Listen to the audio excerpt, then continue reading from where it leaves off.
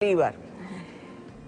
Han dicho, mire, eh, está, esto es un fraude. Aquí no puede haber la recolección del 20% en estos estados porque es un fraude. Bueno, otros tribunales estarán en la misma, porque es que estas 605 mil firmas fueron a nivel nacional. ¿Quién hizo ese fraude? La llamada MUD. Ellos hicieron ese fraude. Entonces, ahora, ellos deberían estar ahorita buscando la fórmula para legalizar sus partidos, porque sus partidos, como ellos fueron todos con la tarjeta de la MUD, ellos deberían estar buscando legalizar sus partidos para participar en lo que sí viene. Vienen las elecciones a gobernadores en el primer semestre del 2017, lo que sí vienen las elecciones a alcaldes y alcaldesas a nivel nacional.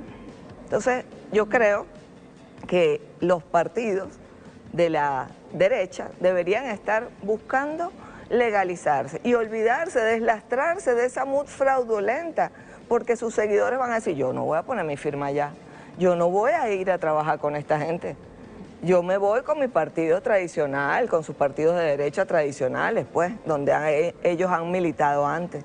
Entonces yo creo que la MUD debe estar haciendo las maletas, a la maleta que se van. Nosotros seguiremos trabajando junto a nuestro presidente Nicolás Maduro, que está logrando ganar esta guerra.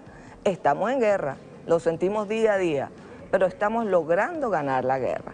Yo quisiera hacer una mención sobre lo que pasó ayer en la asamblea. Qué bonito, qué bonito, de verdad que yo me sentí tan orgullosa de ese pueblo.